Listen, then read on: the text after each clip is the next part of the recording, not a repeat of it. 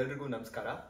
ಕನ್ನಡ ಕೂಟದ ಸಾಹಿತ್ಯ ಸಮಿತಿಯ ವತಿಯಿಂದ ಇಂದು ಒಬ್ಬ ವಿಶೇಷ ಕಲಾವಿದರನ್ನ ನಾವು ಸಂದರ್ಶನ ಮಾಡ್ತಿದ್ದೇವೆ. ಅವರು ಕರ್ನಾಟಕದ ಹೆಸರಾಂತ ಕಲಾವಿದರಾದ ಶ್ರೀ ಶ್ರೀನಾಥ್ ವಸಿಷ್ಠ ಅವರು. ನಮಸ್ಕಾರ ಸರ್. ನಮಸ್ಕಾರ ನಮಸ್ಕಾರ. ಸರ್ ನಮ್ಮ ಕನ್ನಡ ಕೂಟದ ವತಿಯಿಂದ ಸಾಹಿತ್ಯ ಸಮಿತಿ ಅಂತ ಮಾಡ್ಕೊಂಡಿದ್ದೀವಿ. ಹಾಗಾಗಿ ಅದರ ಕಡೆಯಿಂದ ಒಂದು ಪುಟ್ಟ ಸಂದರ್ಶನ ಎಂದು ಮೊದಲಿಗೆ ನೀವು ನಿಮ್ಮ ಮನೆಯಲ್ಲಿ ಈ ರಂಗಭೂಮಿಯ ಒಂದು ವಾಸನೆ ಮುಂಚಿನಿಂದಲೇ ಇತ್ತು ಅಂತ ನಾವು ಕೇಳಿದೀವಿ ನಿಮ್ಮ ತಂದೆ ಕೂಡ ಕಲಾವಿದರು ಅಂತ ಕೇಳ್ಪಟ್ಟಿದ್ವಿ ಅವರ ಬಗ್ಗೆ ಹಾಗೆ ನಿಮ್ಮ ರಂಗಭೂಮಿಯ ಒಡನಾಟ ನಿಮಗೆ ಟಾಪ್ ಆಫ್ ಯುವರ್ ಮೆಮೊರಿ ಯಾವ್ದಿದೆ ಅಂತ ಅದ್ರ ಬಗ್ಗೆ ಹೇಳ್ಬೋದಾ? ರಂಗಭೂಮಿಗೆ ಸಂಬಂಧಪಟ್ಟ ಹಾಗೆ ಮಾತಾಡಬೇಕು ಅಂತಂದ್ರೆ ನೀವು ಹೇಳಿದ್ರಿ ಟಾಪ್ ಆಫ್ ಯುವರ್ ಮೆಮೊರಿ ಅಂತ. Everything is still at the top ನಾನು ರಂಗಭೂಮಿಗೆ ಬಂದು ಮೂವತ್ತ ಏಯ್ಟಿ ಟು ನಾನು ಬಂದಿದ್ದು ಮೂವತ್ತೈದು ವರ್ಷಕ್ಕಿಂತ ಜಾಸ್ತಿ ಆಯಿತು. ನಮ್ಮ ತಂದೆ ಕನ್ನಡ ಜಿ ಕೆ ಗುಂಡೂರಾವ್ ಅಂತ ಅವರು ಕನ್ನಡ ಸಾಹಿತ್ಯ ಪರಿಷತ್ತಿನ ಮೊದಲ ಕಾರ್ಯದರ್ಶಿಯಾಗಿದ್ರು. ಜಿ. ನಾರಾಯಣ ಅವರು ಅವಾಗ ಅಧ್ಯಕ್ಷರಾಗಿದ್ದರು ಕಾರ್ಯದರ್ಶಿಯಾಗಿದ್ದರು ಇವರು. ಇವರು ಆಕಾಶವಾಣಿ ಕಲಾವಿದರಾಗಿದ್ದರು ಎ ಶ್ರೇಣಿಯ ಆಕಾಶವಾಣಿ ಕಲಾವಿದರಾಗಿದ್ದರು. ನಮ್ಮ ತಾಯಿ ಕರ್ನಾಟಕ ಕ್ಲಾಸಿಕ್ ಸಿಂಗರ್ ಅವ್ರು ಈಗಲೂ ಪಾಠಗಳೆಲ್ಲ ಮಾಡ್ತಾರೆ. ನನ್ನ ತಂದೆ ಇಲ್ಲ ಈಗ. ಅವರು ಶಶಿಕಲಾವಿದರು ಅಂತ ಒಂದು ಸಂಸ್ಥೆಯನ್ನ ಹುಟ್ಟುಹಾಕಿ.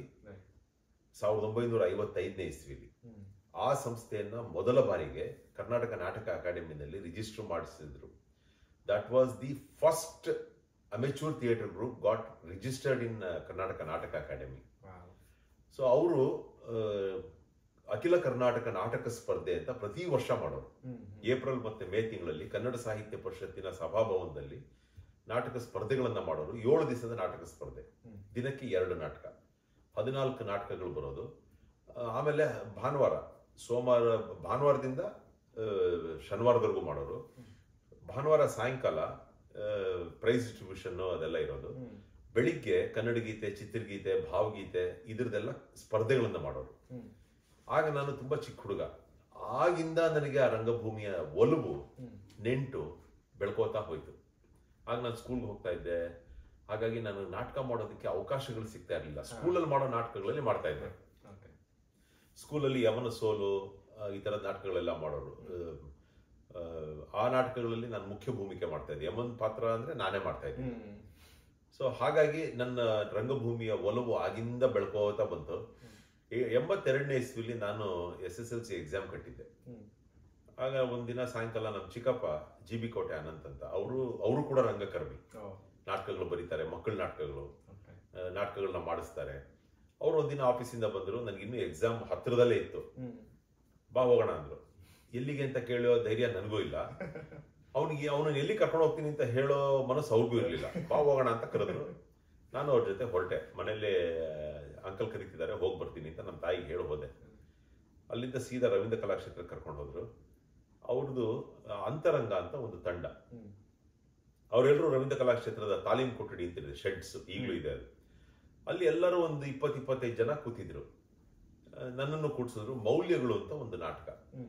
ಆ ನಾಟಕವನ್ನ ಸ್ಕ್ರಿಪ್ಟ್ ನನಗೆ ಕೊಟ್ಟರು ಓದು ನೀನು ಸ್ಕ್ರಿಪ್ಟ್ ಅಂತ ಪಾತ್ರಗಳು ಎಲ್ಲರೂ ಓದ್ತಾ ಇದ್ರು. ನನಗೂ ಒಂದು ಪಾತ್ರ ಓದು ಅಂತ ಕೊಟ್ಟರು ಡೈರೆಕ್ಟರ್. ಆ ನಾನು ಎಷ್ಟು ಲೀಲಾಜಾಲವಾಗಿ ಅದನ್ನ ಓದ್ದೆ ಅಂದರೆ ಆಸ್ ಇಫ್ ನಾನು ಈಗಾಗಲೇ ಒಂದು ತಿಂಗಳಿಂದ ಆ ನಾಟಕ ಓದಿದ್ದೀನಿ I am well versed with that character ಅನ್ನೋ ಥರ ಓದ್ಬಿಟ್ಟೆ. ಡೈರೆಕ್ಟ್ರ್ ಖುಷಿ ಆಗ್ಬಿಟ್ರು. ಏ ನೀನು ಸ್ವಲ್ಪ ಮುಂಚೆ ಸಿಗಕ್ಕಿಲ್ವಾ ನಿನ್ ಕೈಯಲ್ಲೇ ಮೇನ್ ರೋಲ್ ಮಾಡಿಸ್ತಾ ಇದ್ದೆ. ಇರ್ಲಿ ಪರವಾಗಿಲ್ಲ ಇವಾಗ ಈ ಪಾತ್ರ ಮಾಡೋದು ಒಂದು ಇನ್ಸ್ಪೆಕ್ಟರ್ ಪಾತ್ರ ಕೊಟ್ಟರು ನನಗೆ. ಅಲ್ಲಿಂದ ಶುರುವಾಯಿತು. ನಾನು ರಂಗಭೂಮಿಯ ಪಯಣ. ಮನೆಗೆ ಬಂದೆ ರಾತ್ರಿ ಒಂಬತ್ತುವರೆ ಸಾಯಂಕಾಲ ಹೋದಾಗ ಆರು ಗಂಟೆ ಒಂಬತ್ತುವರೆಗೆ ಬಂದೆ ಎಸ್ ಎಲ್ ಸಿ ಎಕ್ಸಾಮ್ ಮುಂದೆನೇ ಇತ್ತು. ನಮ್ಮಮ್ಮ ಕೇಳಿದ್ರು ಎಲ್ಲಿ ಹೋಗಿದ್ದೆ? ಅಷ್ಟೊತ್ತಿಗೆ ನಮ್ಮ ಅಪ್ಪಂಗೆ ಹೇಳಿದ್ರು ನಮ್ಮ ಅಪ್ಪನ ಕಣ್ಣುಗಳು ಕೆಂಡಾಮಂಡಲವಾಗಿತ್ತು. ಎಲ್ಲೋಗಿದ್ದೆ ನನಗೆ ಹೇಳಕ್ ಭಯ. ನಮ್ ಚಿಕ್ಕಪ್ಪ ಸೀದಾ ಒಳಗೊಂಡದ ಅವ್ರಿಗೇನು ಮಾತಾಡಲಿಲ್ಲ ನನಗೊಂದು ಧೈರ್ಯ ಏನಿತ್ತು ಅಂದ್ರೆ ಚಿಕ್ಕಪ್ಪನ ಜೊತೆ ಹೋಗಿದ್ದೀನಿ. ಅಲ್ಲ ಚಿಕ್ಕಪ್ಪನ ಜೊತೆ ಹೋಗಿದ್ದೀನಿ ಬೈಯಲ್ಲ ಅಂತ. ಬಟ್ ಅದು ಉಲ್ಟಾ ಆಗೋಯ್ತು. ಎಲ್ಲೋಗಿದ್ದೆ ಅಂದ್ರೆ ಔಟ್ ಮಾಡಿದ್ರು ಒಳಗೊಟ್ಟದ್ರು ನಮ್ಮಮ್ಮ ನಾನು ಹೇಳ್ದೆ ಇಲ್ಲ ಕಲಾಕ್ಷೇತ್ರಕ್ಕೆ ಹೋಗಿದ್ದೆ ಈ ಥರ ಕರ್ಕೊಂಡು ಹೋಗಿದ್ರು ಯಾಕೆ? ಅಂದ್ರೆ ನಾಟಕ ಮಾಡಕ್ಕೆ. ಓ ಬಿತ್ತು ಬಿತ್ತು. ಅದಾದ್ಮೇಲೆ ಅದು ನಿರಂತರವಾಗಿ ಆಮೇಲೆ ಎಸ್ ಎಲ್ ಸಿ ಪಾಸ್ ಆಯ್ತು ಪಿ ಯು ಸಿ ಆಯ್ತು ಆಮೇಲೆ ನಾ ಇಂಜಿನಿಯರಿಂಗ್ ಮಾಡಿದೆ. ಆಲ್ ದೋಸ್ ಥಿಂಗ್ಸ್ ಬಟ್ ನಾಟಕದ ನಂಟು ಇಲ್ಲಿಂದ ಶುರುವಾಯಿತು. ಈವನ್ ಟು ದಿಸ್ ಡೇ ನಾನು ಇವತ್ತು ಹೆಸರು ಮಾಡಿದ್ದೀನಿ ಅಥವಾ ರಂಗಭೂಮಿನಲ್ಲಿ ಸಕ್ರಿಯವಾಗಿ ನನ್ನನ್ನು ತೊಡಗಿಸ್ಕೊಂಡಿದ್ದೀನಿ ಅಂದರೆ ಅದಕ್ಕೆ ಮೂಲ ಕಾರಣ ನಮ್ಮ ಚಿಕ್ಕಪ್ಪ. ಅವರಿಂದಾನೆ ಬ ನನ್ನ ನನ್ನ ನಮ್ಮ ತಂದೆ ನಮ್ಮ ತಾಯಿ ಅವರು ಆಕ್ಟ್ ಮಾಡೋರೆ. ರಂಗಭೂಮಿನಲ್ಲಿ. ನನ್ನ ಚಿಕ್ಕಪ್ಪ ನನ್ನ ಚಿಕ್ಕಪ್ಪನ ಮಗ. ಎಲ್ಲರೂ ನಾವು ರಂಗಭೂಮಿಯಲ್ಲಿ ನಮ್ಮನ್ನ ನಾವು ನಮ್ಮ ನಮ್ಮ ಕ್ಷೇತ್ರಗಳಲ್ಲಿ ತೊಡಗಿಸ್ಕೊಂಡಿದ್ದೀವಿ. ಅವತ್ತು ಬಿಟ್ಟಿದ್ದ ಪೆಟ್ಟಿಂದ ಇವತ್ತು ಸುಮಾರಷ್ಟು ಪ್ರಶಸ್ತಿ ಸನ್ಮಾನಗಳು ಸಿಕ್ಕಿದೆ ಅಂತ ಹೇಳ್ಬೋದು ನಂತರ ನೀವು ಪದವಿ ಶಿಕ್ಷಣವನ್ನ ಪಡಿತೀರಿ ಇಂಜಿನಿಯರಿಂಗ್ ಮಾಡ್ತೀರಿ ಆದ್ರೆ ಇಂಜಿನಿಯರಿಂಗ್ ಮುಗಿಸಿ ಮತ್ತೆ ಕಲಾ ಕಲೆ ನಿಮ್ಮನ್ನ ಸೆಳ್ಕೊಳ್ಳುತ್ತೆ. ಇದು ಯಾವ ತರ ಆಯ್ತು ಅಂತ? ನಾನು ಓದಿದ ಮುಗಿದ ಮೇಲೆ ಎಲ್ಲರ ಕೆಲಸ ಮಾಡಲೇಬೇಕಲ್ಲ ಅವಾಗ ಅವಾಗ ಇನ್ನೂ ದೂರದರ್ಶನ ಎಲ್ಲ ಶುರುನೇ ಆಗಿರಲಿಲ್ಲ. ಆಗಷ್ಟೇ ಶುರು ಆಗ್ತಾ ಇತ್ತು. ಕನ್ನಡದ್ದು ಒನ್ ಅವರ್ ಪ್ರೋಗ್ರಾಮ್ ಕೊಡೋರು. ಡೆಲ್ಲಿಯಿಂದ ಟೆಲಿಕಾಸ್ಟ್ ಆಗೋದು. ಕನ್ನಡದ ಒನ್ ಅವರ್ ಪ್ರೋಗ್ರಾಮ್ ಕೊಡೋರು. ಅದರಲ್ಲಿ ಇಪ್ಪತ್ತು ಇಪ್ಪತ್ತು ನಿಮಿಷದ ಎರಡು ಸ್ಲಾಟ್ ಕೊಡೋರು. ಆಮೇಲೆ ಟೂ ಅವರ್ಸ್ ಕನ್ ಮಾಡಿದ್ರು ಅದನ್ನು. ಅವಾಗ ಹಾಗೆ ಕನ್ನಡದ ಪ್ರೋಗ್ರಾಮ್ ಶುರುವಾಯಿತು. ಆಗ ನಾನು ಎಸ್ ಕೆ ಎಫ್ ಬೇರಿಂಗ್ಸ್ ಅಲ್ಲಿ ಕೆಲಸ ಮಾಡ್ತಾ ಇದ್ದೆ. ಬೆಳಿಗ್ಗೆ ಅರ್ಧ ದಿವಸ ಶೂಟಿಂಗು ಮಧ್ಯಾಹ್ನ ಅರ್ಧ ದಿವಸ ಕೆಲಸ ಅಥವಾ ವೈಸ ವರ್ಷ. ಬೆಳಿಗ್ಗೆ ಎಲ್ಲೋ ನಾನು ಮಾರ್ಕೆಟಿಂಗ್ ಅಲ್ಲಿ ಇದ್ದೆ. ಬೆಳಿಗ್ಗೆ ಎಲ್ಲೋ ಹೋಗೋದು ಯಾವುದೋ ಕ್ಲೈಂಟ್ನ ಮೀಟ್ ಮಾಡೋದು ವಾಪಸ್ ಬರೋದು ಶೂಟಿಂಗ್ ಹೊರಟೋಗೋದು ಹಂಗೆ ನನಗೆ ಆ ಥರ ಮಾಡ್ತಾ ಇದ್ದೆ. ಅವ್ರು ನನಗೆ ಯಾಕೆ ಅದು ಸರಿ ಅನ್ನಿಸ್ಲಿಲ್ಲ. ಆಮೇಲೆ ನನ್ನ ತಂದೆಗೆ ಹೇಳಿದೆ ನಾನು ಬಿಡ್ತೀನಿ ಕೆಲಸ. ಏನು ಮಾಡ್ತೀಯಾ? ಅಂದರು. ನಾನು ಆ್ಯಕ್ಟ್ ಮಾಡ್ಕೊಂಡಿರ್ತೀನಿ ಅಂತ ಆ್ಯಕ್ಟ್ ಮಾಡ್ಕೊಂಡು ಇದು ಬಿಡಪ್ಪ ಅಂತ ಬೈದರು ಬಟ್ ಆ ಅವರ ಆ ಬೈಗಳ ನನಗೆ ವರವಾಯಿತು. ಅದೇ ಟೈಮ್ಗೆ ನನ್ನ ಎಚ್ ಎಂ ಕೆ ಮೂರ್ತಿ ಅವರು ಒಂದು ಸೀರಿಯಲ್ ಡೈರೆಕ್ಟ್ ಮಾಡ್ತಾ ಇದ್ರು ಏಯ್ಟಿ ಸೆವೆನ್ ಕೃಷ್ಣ ನೀ ಬೇಗನೆ ಬಾರೋ ಅಂತ. ಅದರಲ್ಲಿ ಒಂದು ನೆಗೆಟಿವ್ ಪಾತ್ರಕ್ಕೆ ನನ್ನ ಸೆಲೆಕ್ಟ್ ಮಾಡಿದ್ರು ಅದ್ರ ಜೊತೆಗೆ ಟಿ ಎನ್ ಸೀತಾರಾಮ್ ಅವ್ರದ್ದು ಟಿ ಪಿ ಕೈಲಾಸಂ ಸಣ್ಣ ಕಥೆಗಳು ಅಂತ ಬರ್ತಾ ಇತ್ತು ವಿಜಯಕಾಶಿ ವಿಜಯ್ ಕಾಶಿ ಟಿ ಪಿ ಸೀತಾರಾಮ್ ನಾನು ಮೂರು ಜನ. ಅದನ್ನ ಆಕ್ಟ್ ಮಾಡಿದ್ವಿ. ಅದು that was a ten minute short film ತರ ಮಾಡಿದ್ರು. ಅದು ಅಲ್ಲಿಂದ ಶುರುವಾಯಿತು. ಒಂದಾದ್ಮೇಲೆ ಒಂದು ಟಿ ಎನ್ ಸೀತಾರಾಮ್ ಅವ್ರದ್ದು ಎಲ್ಲಾ ಪ್ರೊಡಕ್ಷನ್ಸ್ ಟಿಲ್ ಮಗಳು ಜಾನಕಿ. ಮಗಳು ಜಾನಕಿ ಮಾಡಲಿಲ್ಲ ನಾನು. ಅಲ್ಲಿವರೆಗೂ ಎಲ್ಲ ಮಾಡಿದೆ. ನಾನು ಸುಮಾರು ಒಂದು ನೂರ ಎಂಬತ್ತೈದು ಸೀರಿಯಲ್ ಆಕ್ಟ್ ಮಾಡಿದ್ದೀನಿ. ಇಲ್ಲಿವರೆಗೂ. ಹೆಚ್ಚು ಕಮ್ಮಿ ಒಂದು ಹದಿನೆಂಟು ಸಾವಿರ ಎಪಿಸೋಡ್ಸ್. ಕರ್ನಾಟಕದ ಎಲ್ಲ ಪ್ರಮುಖ ನಿರ್ದೇಶಕರ ಜೊತೆನೂ ಕೆಲಸ ಮಾಡಿದ್ದೀನಿ. ಅದು ನನಗೆ ಬಹಳ ಹೆಮ್ಮೆ ಕೊಡುವಂಥ ವಿಚಾರ. ಯಾಕೆಂದರೆ ಒಂದು ಕನ್ಸಿಸ್ಟೆನ್ಸಿ ಒಬ್ಬ ನಟನಾಗಿ ಒಂದು ಕನ್ಸಿಸ್ಟೆನ್ಸಿ ಅನ್ನೋದು ನನಗೆ ಅದು ವರವಾಗಿ ಬಂದಿದೆ. By God's grace even to this day ನಾನು ಆ್ಯಕ್ಟ್ ಮಾಡ್ತಾನೆ ಇದ್ದೀನಿ. ಸೊ ಹಾಗೆ ಹೀಗೆ ನಡ್ಕೊಂಡು ಬಂತು ನಂದು. ನೀವು ಧಾರಾವಾಹಿಗಳಲ್ಲಿ ಅಭಿನಯಿಸದ ಅಭಿನಯಿಸೋದ್ರ ಜೊತೆಗೆ ರಂಗಭೂಮಿಯಲ್ಲಿ ಕೂಡ ಸಕ್ರಿಯವಾಗೇ ಇದ್ರಿ. ಎಲ್ಲರೂ ಸಾಧಾರಣ ಏನಂದ್ರೆ ಯಾವ್ದಾದ್ರು ಒಂದು ನಾಟಕ ತಂಡದ ಜೊತೆ ಐಡೆಂಟಿಫೈ ಮಾಡ್ಕೊಳ್ತಾರೆ. ಆದ್ರೆ ನಾವು ನಿಮ್ಮ ಬಗ್ಗೆ ಕೇಳ್ತಾ ಅಥವಾ ನಿಮ್ಮ ಬಗ್ಗೆ ನಾವು ತಿಳ್ಕೊಳ್ತಾ ಹೋದಾಗ ಪ್ರ- ಸುಮಾರಷ್ಟು ನಾಟಕ ತಂಡಗಳ ಜೊತೆ ನೀವು ಕೆಲಸವನ್ನ ಮಾಡಿದ್ದೀರಿ. ಇದು ನಮಗೆ ತುಂಬಾ ವಿಶೇಷ ಅನ್ನಿಸ್ತು. ಯಾಕೆಂದ್ರೆ ನೀವು ಒಂದೇ ಕಡೆ ಸ್ಟಿಕ್ ಆನ್ ಆಗ್ದಿರಾ ಬಹಳಷ್ಟು ಕಡೆ ನೀವು ನಿಮ್ಮ ಕಲೆಯನ್ನ ಪ್ರದರ್ಶನ ಮಾಡ್ಕೊಂಡು ಬಂದಿದ್ದೀರಿ. ಇದು ಹೇಗಾಯ್ತು ಅಂದ್ರೆ ನೀವು ನೀವು ಒಂದೇ ಒಂದು ಗ್ರೂಪ್ಗೆ ಅಂತ ನೀವು ನಿಮ್ಮನ್ನ ಐಡೆಂಟಿಫೈ ಮಾಡ್ಕೊಳ್ಳಲ್ಲ. ಅದು ಸುಮಾರಷ್ಟು ಕಲಾವಿದರಿಗೆ ಅದು ಆಗದೆ ಇರ್ಬೋದು. ಆದ್ರೆ ನಿಮ್ಗೆ ಅದು ಹೇಗೆ ಸಾಧ್ಯ ಆಯ್ತು ಅಂತ? ಅದು ಹೇಗೆ ಸಾಧ್ಯ ಆಯ್ತು ಅನ್ನೋದು ನನಗೂ ಒಂದು ಪ್ರಶ್ನೆ. ಬಟ್ ಏನಂದ್ರೆ ಒಬ್ಬ ನಟನಿಗೆ ಒಂದು ಬ್ಯಾರಿಕೇಡ್ ಹಾಕೋಬಾರ್ದು ಅನ್ನೋದು ನನ್ನ ಒಂದು ಬಲವಾದ ನಂಬಿಕೆ. ಅವನು ಯಾಕೆಂದ್ರೆ ನಾನು ಯಾರೋ ತಂಡದವ್ರು ಕರೀತಾರೆ. ಕರೆದಾಗ ಏ ನಾ ಮಾರಲ್ಲ ಅಂತ ಹೇಳಿದ್ರೆ ಅದು ಅವನ ಅಂತ್ಯದ ಮೊದಲನೇ ಮೆಟ್ಲು. ಸೊ ನನಗೇನು ಮಾಡಿದ್ರು, ಈ ಸ್ಪಂದನ ಬಿ ಜಯಶ್ರೀ ಮೇಡಮ್. ಅವ್ರು ನನ್ನನ್ನ, ಅವ್ರ ನಾಟಕಗಳಿಗೆ ನನ್ನನ್ನ ಕರೆದ್ರು. ಅದಾದ್ಮೇಲೆ ಬೆನಕಾನವರು. ನಾಗಾಭರಣ ಅವ್ರ ಟೀಮ್ ಅವ್ರು ಕರೆದ್ರು, ಸಂಕೇತ್ನವ್ರು ಕರೆದ್ರು ಈ ತರ ಬೇರೆ ಬೇರೆ ತಂಡಗಳು ರಂಗ ತಂಡಗಳೆಲ್ಲ ಕರೆದ್ರು. ಬಿಕಾಸ್ ಅವರು ನನ್ನಲ್ಲಿರೋ ಒಬ್ಬ ಕಲಾವಿದನ ನಿಜವಾಗ್ಲೂ ಗುರುತಿಸಿದ್ರು, ನನ್ನ ಧ್ವನಿ. ಅವ್ರಿಗೆ ಇಷ್ಟ ಆಗಿದೆ ಮತ್ತೆ ಎಲ್ಲದಕ್ಕಿಂತ ಇಂಪಾರ್ಟೆಂಟ್ ಡೆಡಿಕೇಶನ್. ಒಂದು ನಾಟಕ ಮಾಡ್ತೀವಿ ಅಂದರೆ ಸುಮ್ಮನೆ ನಾನು ಸೀರಿಯಲಲ್ಲೋ ಸಿನಿಮಾದಲ್ಲೋ ಆ್ಯಕ್ಟ್ ಮಾಡ್ದಂಗೆ ಮನೆಯಿಂದ ಹೋಗಿ ಅಲ್ಲೇ ಕೊಡ್ತಾರೆ ಸ್ಕ್ರಿಪ್ಟು ಇಸ್ಕೊಂಡು ಮಾಡೋದು ಅಲ್ಲ. ನಾಟಕಕ್ಕೆ ಅದರದೇ ಆದಂತಹ ಒಂದು ತಾಲೀಮ್ ಬೇಕು ಅದರದೇ ಆದಂಥ ಪ್ರಿಪ್ರೇಷನ್ ಬೇಕು. ಈ ಎಲ್ಲದಕ್ಕೂ ನಾನು ಸ್ಪಂದಿಸಿದೆ. ಅವರು ನನ್ನಲ್ಲಿರುವ ಕಲಾವಿದನ್ನ ಐಡೆಂಟಿಫೈ ಮಾಡಿ, ಬಾ ನೀನು ನಮ್ಮ ತಂಡದಲ್ಲಿ ಆ್ಯಕ್ಟ್ ಮಾಡು ಅಂತ ಕರೆದ್ರು. ಹಾಗಾಗಿ ಅದು ಸಾಧ್ಯ ಆಯಿತು. ಆಮೇಲೆ ನಾನು ಯಾರೇ ಯಾವುದೇ ತಂಡದವ್ರು ಕರೆದ್ರು, ಬರಲ್ಲ ಅಂತ ಹೇಳೇ ಇಲ್ಲ ಇವತ್ತರೆಗೂ. ಯಾರೇ ಕರೆದ್ರು ಹೋಗ್ತೀನಿ ನಾಟಕ ಮಾಡ್ತೀನಿ. ಅದು ದೊಡ್ಡ ಪಾತ್ರ ಇರ್ಬೋದು ಸಣ್ಣ ಪಾತ್ರ ಇರ್ಬೋದು. ನಾಟಕ ನಾಟಕ. ನಾಟಕ ನಾಟಕವನ್ನಾಗಿ ಮಾಡಬೇಕು. ಹಾಗಾಗಿ ನಾನು ಆಮೇಲೆ ನನಗೆ ಇನ್ನೊಂದು ಮೇಜರ್ ನಾನು ಹೇಳ್ಕೊಳ್ಳೋ ಹೇಳಲೇಬೇಕಾದಂಥ ವಿಚಾರ ಏನು ಅಂದರೆ ಈ ನಟನೆ ಅನ್ನೋದಿದೆಯಲ್ಲ ನನಗೆ ತುಂಬ ಇಷ್ಟವಾದದ್ದು. ನಾನು ರಾತ್ರಿ ಎರಡು ಗಂಟೆಗೆ ಎಬ್ಬಿಸ್ಬಿಟ್ಟು ರಿಹರ್ಸಲ್ ಮಾಡೋಣ ಬಾ ಅಂದ್ರು ನಾನು ಟಕ್ಕಂತ ಕೂತ್ಕೊಂಡ್ಬಿಟ್ಟೆ. ನಾನು ನನ್ನ ಕಡೆ ಉಸಿರಿರೋವರೆಗೂ ರಂಗಭೂಮಿಲಿರ್ಬೋದು ಅಥವಾ ಕಿರುತೆರೆಯಲ್ಲಿರ್ಬೋದು ಅಥವಾ ಬೆಳ್ಳಿ ತೆರೆಯಲ್ಲಿರ್ಬೋದು. ಆ್ಯಕ್ಟ್ ಮಾಡ್ತಾ ಮಾಡ್ತಾ ಮಾಡ್ತಾ ಒಂದಿನ ನಾನು ಕಣ್ಮುಚ್ಚಬೇಕು ಅನ್ನೋ ನನ್ನ ಆಸೆ. ಬಹಳ ಸಂತೋಷ ಆಯಿತು. ಅಂದರೆ ಎಷ್ಟೋ ಜನ ಕಲಾವಿದರಿಗೆ ಯಾವುದೋ ಒಂದು ಚೌಕಟ್ಟು ಹಾಕ್ಕೊಂಡು ಎಲ್ಲೋ ಅವರ ಬೆಳವಣಿಗೆ ಅವರನ್ನೇ ಅವರೇ ಕುಂಠಿತ ಮಾಡ್ಕೊಳ್ತಾ ಇರ್ತಾರೆ ಅಂತ ಅನ್ಸುತ್ತೆ. ಯಾಕೆಂದ್ರೆ ಅವರಲ್ಲೂ ಕೂಡ ಕಲೆ ಇರಬಹುದು. ಆದರೆ ಒಂದು ಅಭಿವೃದ್ಧಿ ಅಂತ ಕಾಣದೇ ಇರೋದಕ್ಕೆ ಬಹುಶಃ ಇದೊಂದು ಕಾರಣ ಆಗಿರಬಹುದು. ಇರ್ಬೋದು.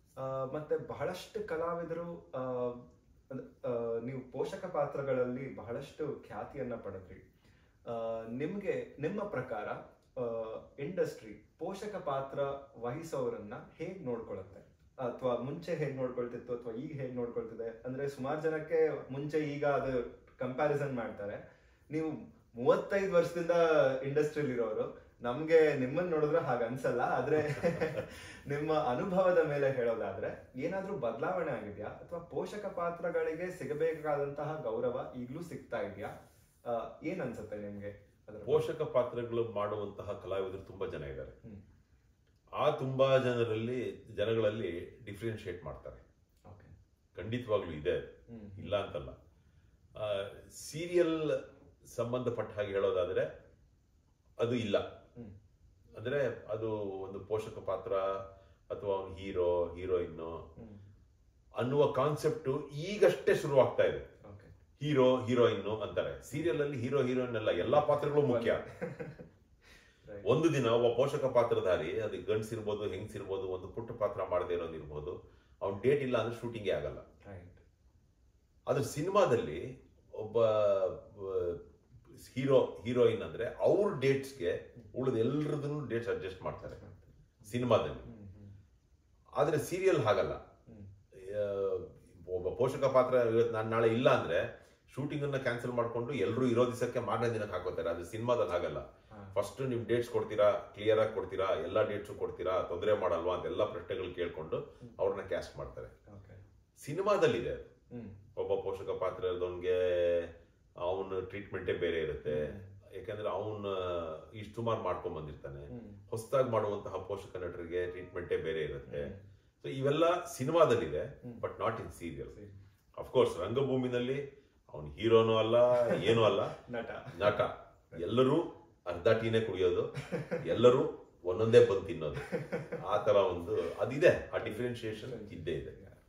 ಮತ್ತೆ ಧಾರಾವಾಹಿಗಳ ಧಾರಾವಾಹಿಗಳು ನಡೆದುಕೊಂಡು ಬಂದಿರುವಂತಹ ಒಂದು ರೀತಿಯನ್ನ ನೋಡಿದ್ರೆ ಕನ್ನಡದ ಕಿರುತೆರೆ ತನ್ನದೇ ಆದ ಒಂದು ವಿಶೇಷವಾದಂತಹ ಪಾತ್ನ ಪಡ್ಕೊಂಡಿದೆ.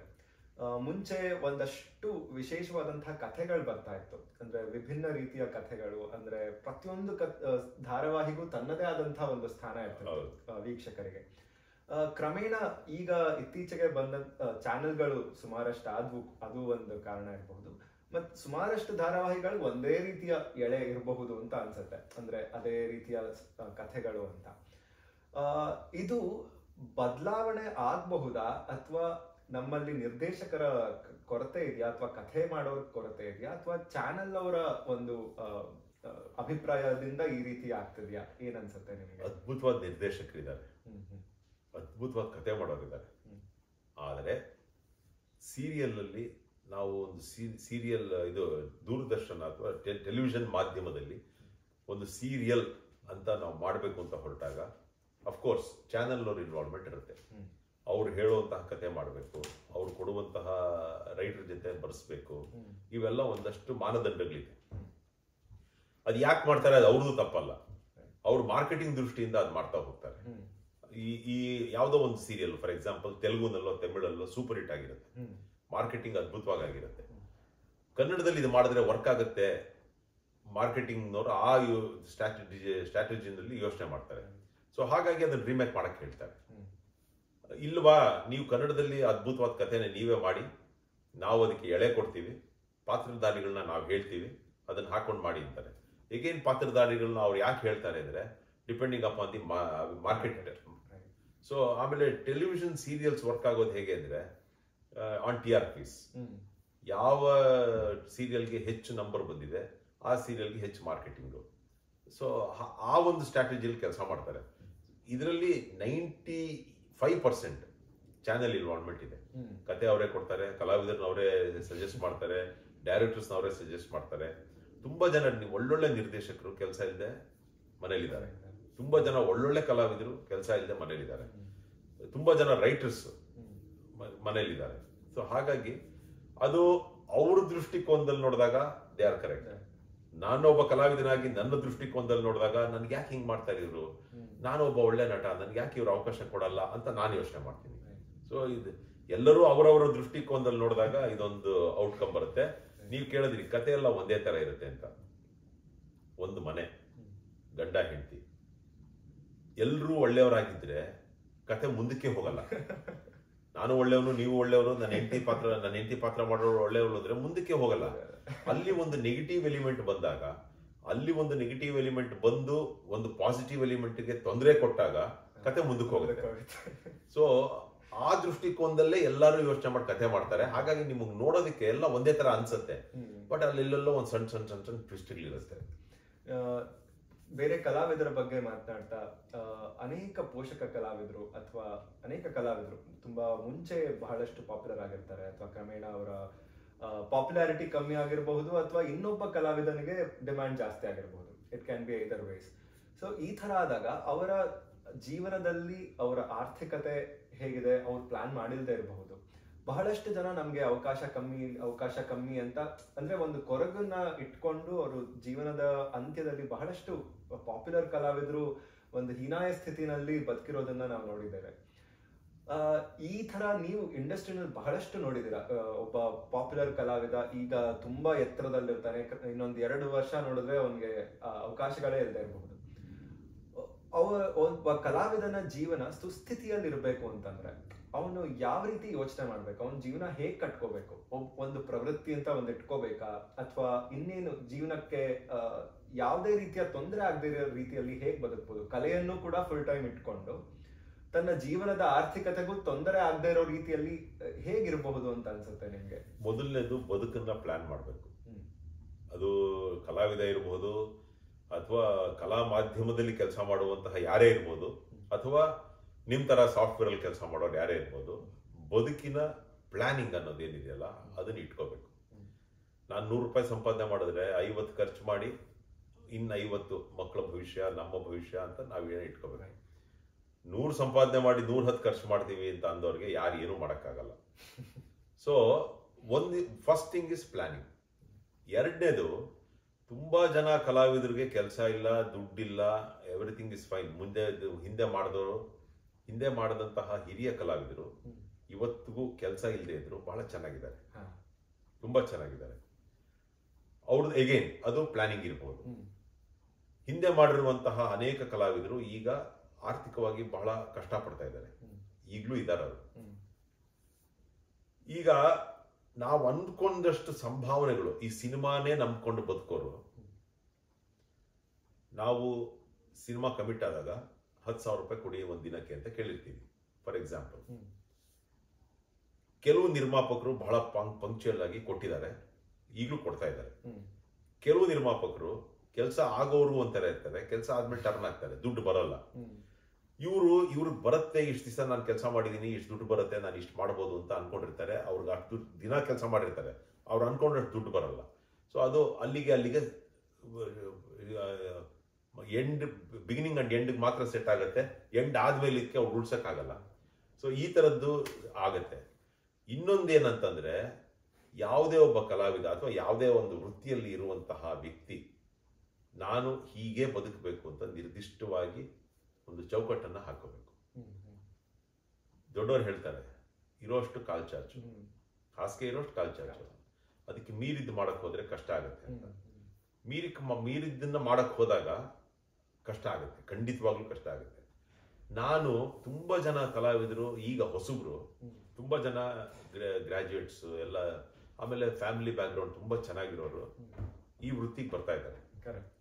ಕಲಾವಿದನಾಗಬೇಕು ಕಲಾವಿದೆಯಾಗಬೇಕು ಅಂತ ವೃತ್ತಿಗೆ ಬರ್ತಿದ್ದಾರೆ. ಹೆಣ್ಣು ಮಕ್ಕಳಿಗೆ ಅಷ್ಟು ಪ್ರಾಬ್ಲಮ್ ಆಗಲ್ಲ. ಎಸ್ಪೆಷಲಿ ಗಂಡು ಮಕ್ಕಳಿಗೆ. ಅವರು ಬಂದಾಗ ಇರುವ ಹುಮ್ಮಸ್ಸು ಈಗ ನೋಡಿ ನಾನು ಫಾರ್ ಎಕ್ಸಾಂಪಲ್ ನಾನಿರ್ಬೋದು ನಂತರ ಬೇಕಾದಷ್ಟು ಜನ ಪೋಷಕ ಪಾತ್ರ ಮಾಡ್ತಿರುವ ಕಲಾವಿದರು ನಾವಿಷ್ಟು ವರ್ಷಗಳಾದ್ರೂ ಸಸ್ಟೈನ್ ಆಗಿದ್ದೀವಿ. ನಮ್ಮ ಹಿಂದಿನ ಯಾವುದೋ ಸೀರಿಯಲ್ನ ನೋಡಿರೋ ಜನಗಳು ನಮ್ಮನ್ನು ಇವತ್ತು ಗುರುತಿಸ್ತಾರೆ ಮಾತಾಡಿಸ್ತಾರೆ. ಆದ್ರೆ ಈಗ ಹೊಸದಾಗಿ ಬರ್ತಾ ಇರೋರು ಒಂದು ಎರಡು ಮ್ಯಾಕ್ಸಿಮಮ್ ಮೂರು ಸೀರಿಯಲ್ ಆದ್ಮೇಲೆ ಅವ್ರು ಪತ್ತೆನೇ ಇರಲ್ಲ. ಕನ್ಸಿಸ್ಟೆನ್ಸಿ ಬೇಕು. ಸೊ ಆ ಕನ್ಸಿಸ್ಟೆನ್ಸಿ ಬೆಳೆಸ್ಕೋಬೇಕು. ನಾನು ತುಂಬಾ ಜನ ನನಗೆ ಫೋಟೋ ಕೊಡ್ತಾರೆ ಸರಿ ಯಾರಿಗಾರು ಹೇಳಿ ಅಂತಾರೆ. ನಾನು ಅವ್ರಿಗೆ ಹೇಳೋದು ಒಂದೇ ಮಾತು. ನೀವು ಫಸ್ಟ್ ನಿಮ್ ಬದುಕನ್ನು ಕಟ್ಕೊಳ್ಳಿ. ನೀವು ಬೇರೆ ಏನಾದ್ರು ಮಾಡಿ ಆಮೇಲೆ ಇಲ್ಲಿಗೆ ಬನ್ನಿ. ಇದನ್ನೇ ನಂಬ್ಕೊಂಡು ಬದುಕನ್ನ ಕಟ್ಕೊಳ್ಳೋದು ಬಹಳ ಕಷ್ಟ. ಸೊ ನೀವು ಅಲ್ಲಿ ಏನೋ ಮಾಡಿ ಇಲ್ಲಿ ಬನ್ನಿ ಅಂತ. ಎಗೇನ್ ಅವರವರ ವಿವೇಚನೆಗೆ ಬಿಟ್ಟಿದ್ದು ಅದನ್ನ ಫೋರ್ಸ್ ಮಾಡೋಕ್ಕಾಗಲ್ಲ. ಬಟ್ ಒಬ್ಬ ಕಲಾವಿದನಾಗಿ ಇದರಕ್ಕೆ ಪ್ಯಾರಲಲ್ ಆಗಿ ಬೇರೆ ಏನಾದರೂ ಮಾಡೋದು ಒಳ್ಳೆಯದು ಅನ್ನೋದು ನನ್ನ ಭಾವ to lead a wonderful happy life correct ಮತ್ತೆ ನೀವು ಬಹಳಷ್ಟು ನಾಟಕಗಳಲ್ಲಿ ಅಭಿನಯಿಸಿದ್ದೀರಿ ಬಹಳಷ್ಟು ನಾಟಕ ತಂಡಗಳಲ್ಲಿ ಅಭಿನಯಿಸಿದ್ದೀರಿ. ನಿಮ್ಗೆ ಮೋಸ್ಟ್ ಫೇವ್ರೆಟ್ ಡೈರೆಕ್ಟರ್ ನಾಟಕದ ನಿರ್ದೇಶಕರು ಅಂತಂದ್ರೆ ಯಾರು ಬರ್ತಾರೆ ನಿಮ್ಮ ತಲೆಗೆ?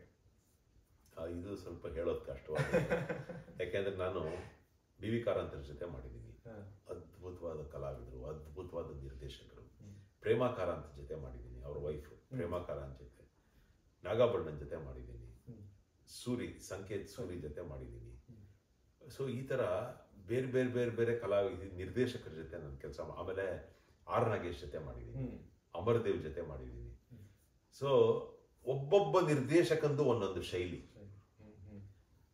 ನನಗೆ ಯಾರು ಆಪ್ತರು ಯಾರು ಅದ್ಭುತವಾದ ನಿರ್ದೇಶಕರು ಅಂತ ಕೇಳೋದಕ್ಕಿಂತ ನಾನು ನೋಡೋದಕ್ಕಿಂತ ಒಬ್ಬೊಬ್ಬ ನಿರ್ದೇಶಕನಲ್ಲೂ ಇರುವಂತಹ ಅದ್ಭುತವಾದ ಅಂಶಗಳನ್ನ ತಗೊಂಡಾಗ ನಾನು ಒಬ್ಬ ಉತ್ತಮ ನಟನಾಗೋದಕ್ಕೆ ಸಾಧ್ಯ ಅನ್ನೋದು ನನ್ನ ನಂಬಿಕೆ. ಸೊ ಹಾಗಾಗಿ ನಾನು ಎಲ್ಲರನ್ನೂ ಒಂದೇ ಸಮನಾಗಿ ನೋಡ್ತೀನಿ. ಮತ್ತೆ ನಾನು ಅವರೆಲ್ಲರಿಂದ ತಗೊಂಡು what best I can give ಅನ್ನೋದ್ರ ಬಗ್ಗೆ ಯೋಚನೆ ಮಾಡ್ತೀನಿ. ಸೇಮ್ ನನಗೆ ಧಾರಾವಾಹಿಗಳ ಬಗ್ಗೆನೂ ಅದೇ ಪ್ರಶ್ನೆ ಅಂತ ಅನ್ಕೊಂಡಿದ್ದೆ.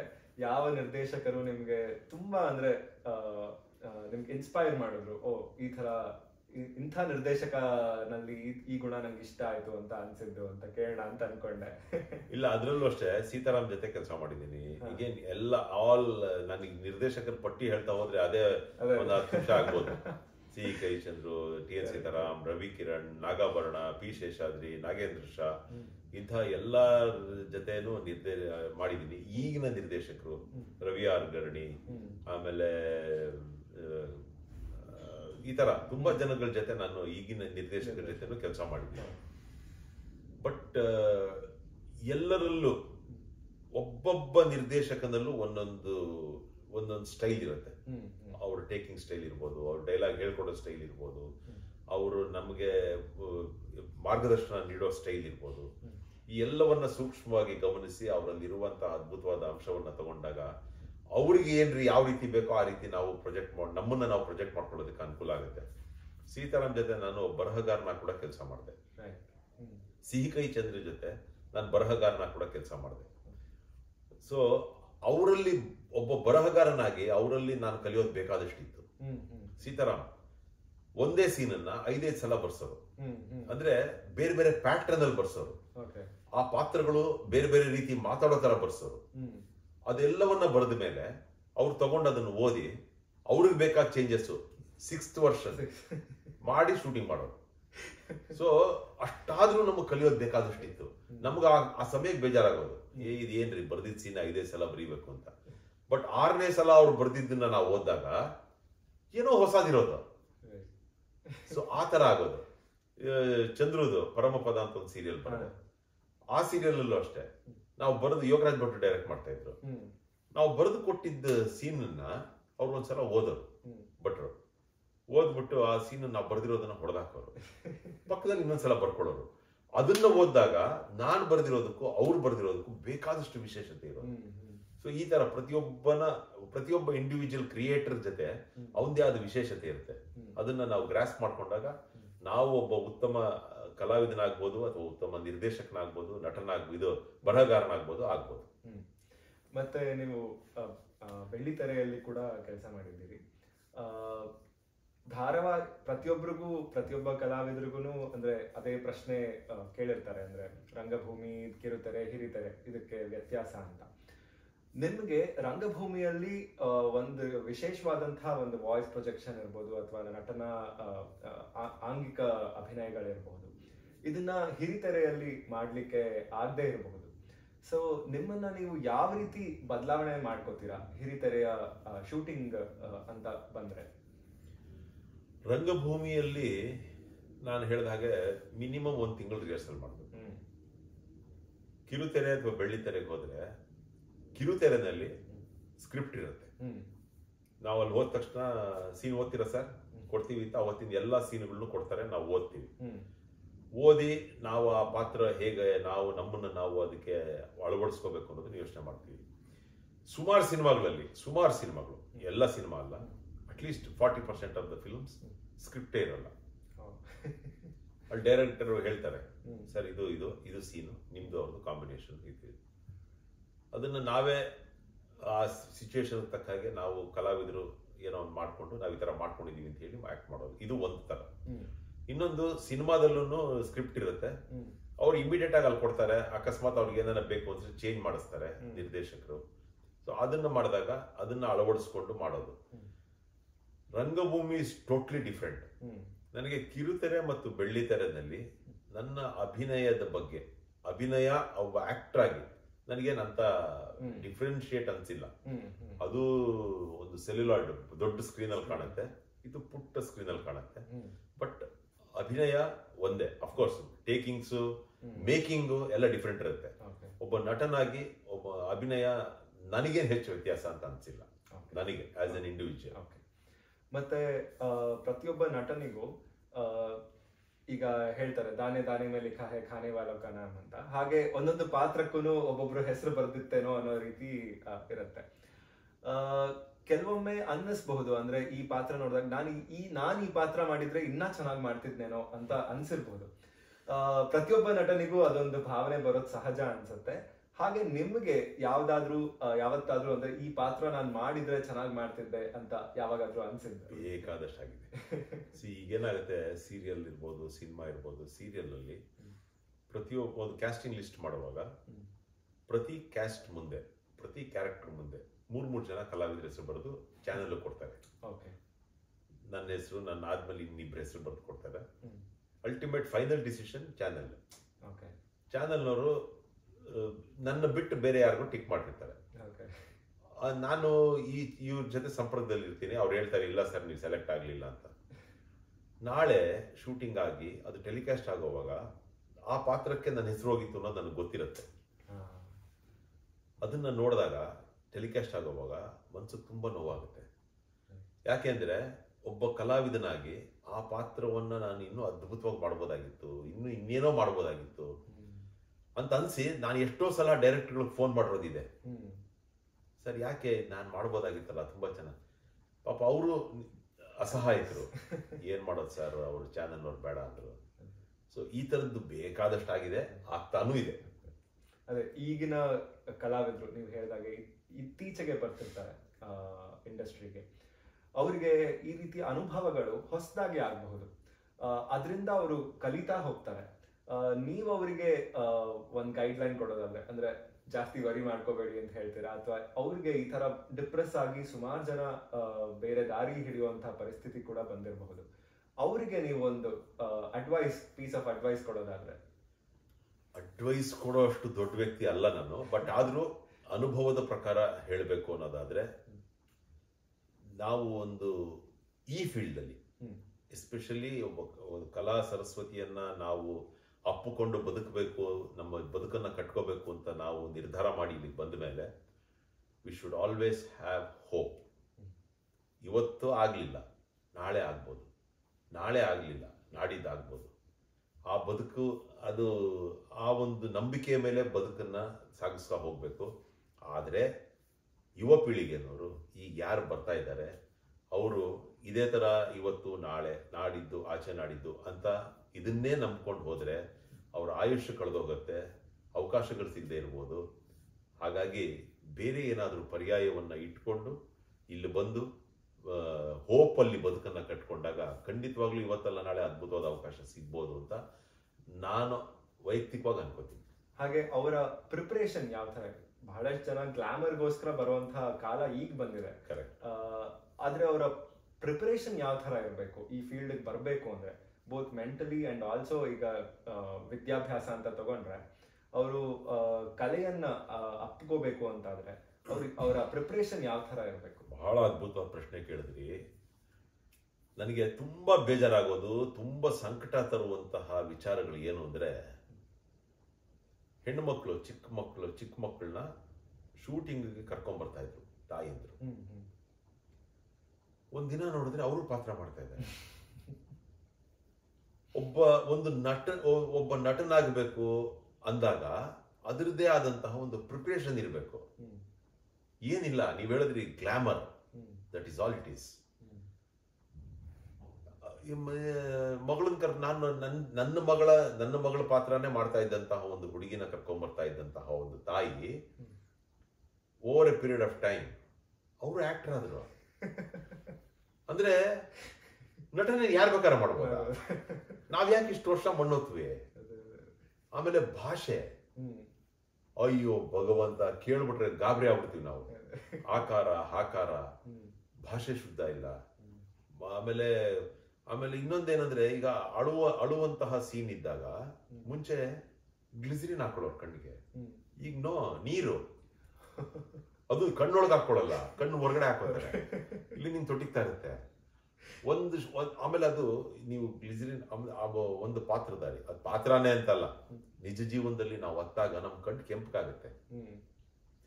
ಯಾರೋ ಒಬ್ರು ಹೊರಗಡೆಯಿಂದ ಬರ್ತಾರೆ. ನೋಡಿದ ತಕ್ಷಣ ಯಾಕೆ ಕಾಣ್ತಾ ಇದ್ದೀರಾ ಅಂತ ಕೇಳ್ತಾರೆ. ಕಣ್ಣು ಹಂಗಾಗಿರುತ್ತೆ ನೀವು ನೀರ್ ಹಾಕೊಂಡ್ರೆ ಕಣ್ಣಿಂದ ಹೊರಗಡೆ, ನೀವು ಕ್ಯಾಮ್ರಾ ಕ್ಲೋಸ್ ಅಪ್ ಅಲ್ಲಿ ಇಟ್ಟಿರ್ತೀರಾ?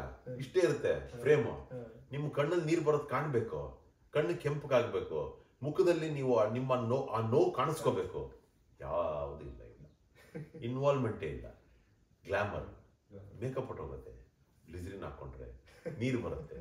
ಈ ಥರದವರೇ ಜಾಸ್ತಿ ಇದ್ದಾರೆ. ನಾನು ಹೇಳೋದೇನೆಂದ್ರೆ ಒಬ್ಬ ಒಳ್ಳೆ ಕಲಾವಿದನಾಗಬೇಕು ಒಬ್ಬ ಒಳ್ಳೆ ನಟ ಆಗಬೇಕು ನಟಿ ಆಗಬೇಕು ಅಂದರೆ ಮಿನಿಮಮ್ ಮಿನಿಮಮ್ ಒಂದು ನಾಟಕ ಮಾಡಬೇಕು. ಅದು ಯಾರೇ ಆಗಿರಲಿ. ನಾಟಕ ಮಾಡಿದ್ರೆ ಅದರಿಂದ ಆಗುವ ಪ್ಲಸ್ ಪಾಯಿಂಟ್ಗಳು ತುಂಬ.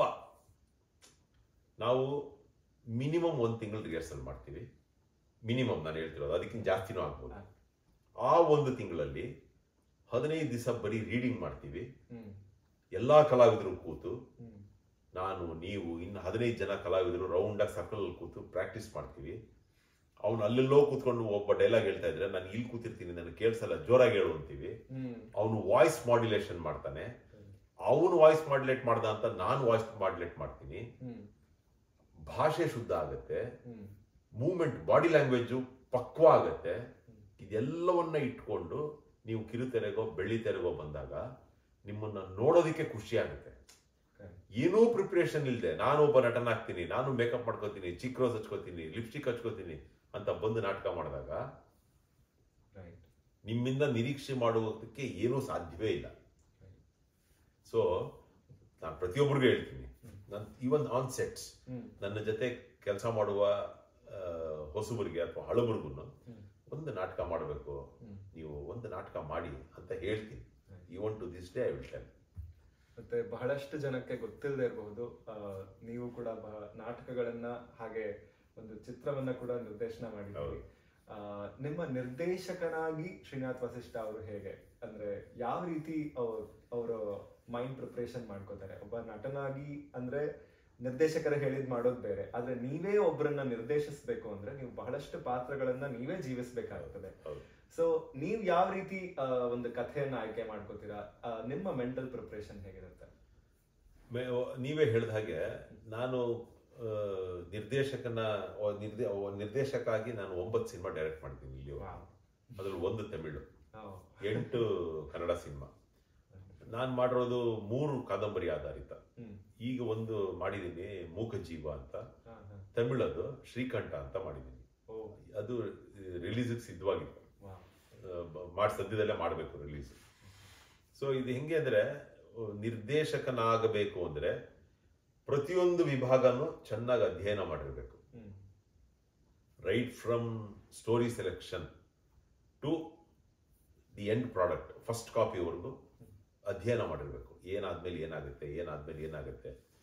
ನಾನು ಎಷ್ಟು ನಿಮಿಷದ ಚಿತ್ರ ಮಾಡಬೇಕು ಎಷ್ಟು ನಿಮಿಷ ಚಿತ್ರ ಮಾಡೋದಕ್ಕೆ ಎಷ್ಟು ಶೂಟ್ ಮಾಡಬೇಕು ಎಷ್ಟು ದಿನ ಬೇಕಾಗುತ್ತೆ ಬಡ್ಜೆಟ್ಟು ಕಾಸ್ಟ್ಯೂಮ್ಸು ಎಡಿಟಿಂಗು ಡಬ್ಬಿಂಗು ಎಲ್ಲವನ್ನ ಪ್ಲ್ಯಾನ್ ಮಾಡಿ. ಅಂದರೆ ನಾನು ಎಲ್ಲರಾಗಿ ಕೆಲಸ ಮಾಡಬೇಕು.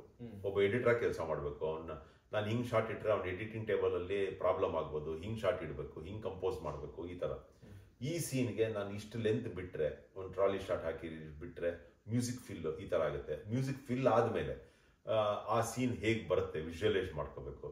ಸೊ ಇದೆಲ್ಲವನ್ನ ಮಾಡಿಕೊಂಡು ನಾನು ಒಂದು ನಿರ್ದೇಶಕನ ಶೂ ಒಳಗೆ ನನ್ನ ಕಾಲು ಹಾಕಬೇಕು. ಇಲ್ಲದೆ ಹೋದ್ರೆ ಅದು ಅರ್ಧಂಬರ್ಧ ಕೆಲಸ ಆಗ್ಬಿಡುತ್ತೆ. ಸೊ ನಿರ್ದೇಶಕನ ಪಾತ್ರ ನಿಜವಾಗ್ಲೂ ಬಹಳ ದೊಡ್ಡ ಪಾತ್ರ.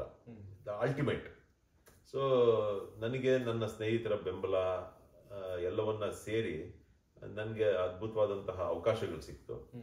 ಒಂಬತ್ತು ರೆಡಿ ಆಗಿದೆ. ಅಂದ್ರೆ ಒಂಬತ್ತು ಆಯ್ತು. ಟೂ ತೌಸಂಡ್ ನೈನ್ ಅಲ್ಲಿ ನಾನು ಮೊದಲನೇ ಚಿತ್ರ ನಾನು ಡೈರೆಕ್ಟ್ ಮಾಡಿದ್ದು. ಅಲ್ಲಿಂದ ಇಲ್ಲಿವರೆಗೂ ಮಾಡಿದ್ದೀನಿ. ಈಗ ಬೆ ವಾಪಸ್ ಇನ್ನೊಂದು ರೆಡಿ ಆಗ್ತಾ ಇದೆ. ಓತ್ಲಾ ಅಂತ. ಸಿನಿಮಾ ಹೆಸರು. ಅದು ಫೈನಲ್ ಸ್ಕ್ರಿಪ್ಟಿಂಗ್ ನಡೀತಾ ಇದೆ. ಈವನ್ ಫೈನಲ್ ಸ್ಕ್ರಿಪ್ಟಿಂಗ್ ಆದ್ಮೇಲೂ ಅದ್ರಲ್ಲಿ ಕರೆಕ್ಷನ್ಸ್ ಅದು ಇದು ಇದ್ದೇ ಇರುತ್ತೆ. ಮಿನಿಮಮ್ ಎರಡು ಮೂರು ವರ್ಷ ಆಗುತ್ತೆ ಸ್ಕ್ರಿಪ್ಟ್. ಅದಾದ್ಮೇಲೆ ಮಾಡೋದು. ಆಮೇಲೆ ನಾನು ಕಮರ್ಷಿಯಲ್ ಸಿನಿಮಾ ಮಾಡಲ್ಲ.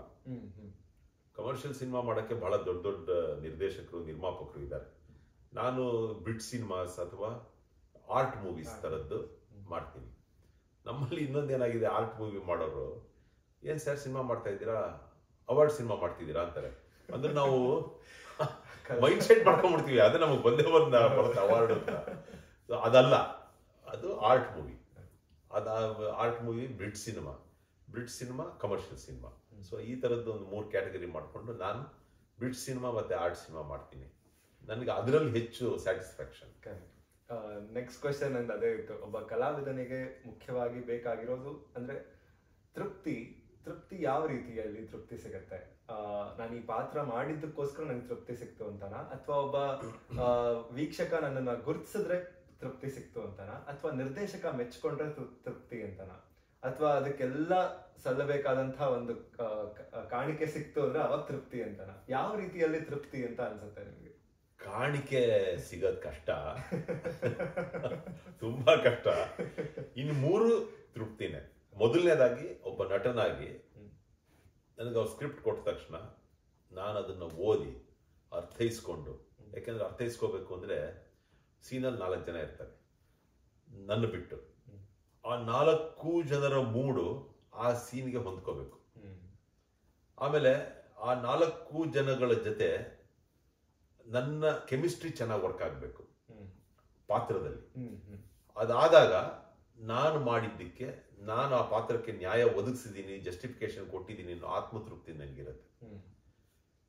ಇದು ಒಬ್ಬ ಕಲಾವಿದನಾಗಿ ಒಬ್ಬ ನಟನಾಗಿ ಅಯ್ಯೋ ಇದು ನಿರ್ದೇಶಕನಾಗಿ. ನಾನು ಒಬ್ಬ ಕಲಾವಿದ ಇದೇ ರೀತಿ ಆಕ್ಟ್ ಮಾಡಬೇಕು ಅಂತ ನಾನು ವಿಜುವಲೈಸ್ ಮಾಡ್ಕೊಂಡಿರ್ತೀನಿ.